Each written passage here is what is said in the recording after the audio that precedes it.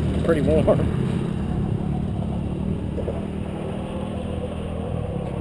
That's what the PowerJet one round out, 420 is PowerJet one round out. It still needs a little fuel, don't it? Yeah, it's still pretty hot, Ponch. You're uh, you're not developing good color. It's hard. That's an old plug, though. I mean, it's going to be hard to color it. I see. You're probably pretty close, but without putting a new plug in it and seeing what the you know the actual grade, it's going to be hard to cover out. Well, and what I noticed, every gear change, it just kind of laid over. Yeah, that's lean. Way out here on the big end, that's um, got its head up. Right. Yeah, you're you need to go uh, two jet sizes larger, and I'd leave the power jet where it is, and go two bigger on the main jet.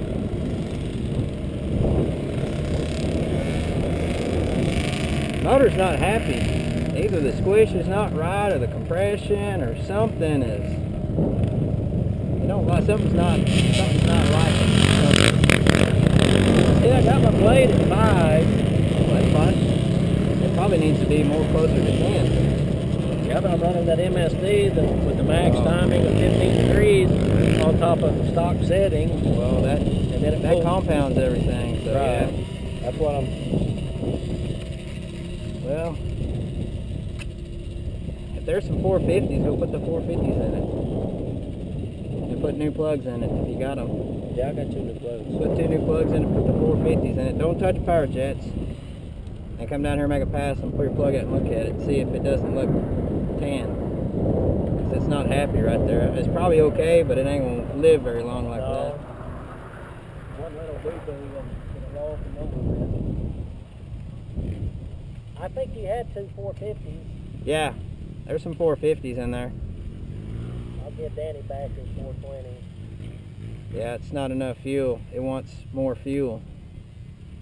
And uh, I wouldn't, I wouldn't try to run the power jets on gas. I mean, because them things are so inconsistent. You don't know. You got them both at like say a half turn out, but what's to say one's flowing twice as much as the other? Right. No, I just done it see if. Right.